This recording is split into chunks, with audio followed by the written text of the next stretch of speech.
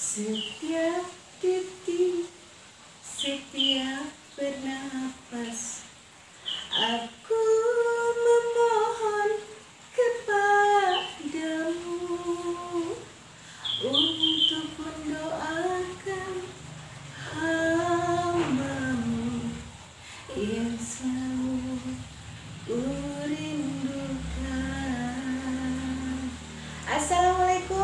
warahmatullahi wabarakatuh.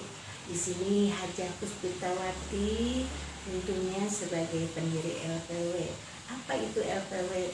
Lembaga Puspitawati mengucapkan Selamat Hari Raya Idul Fitri 1 Syawal 1444 Hijriah. Minal aizin wal faizin. Mohon maaf lahir dan batin. Wassalamualaikum warahmatullahi wabarakatuh.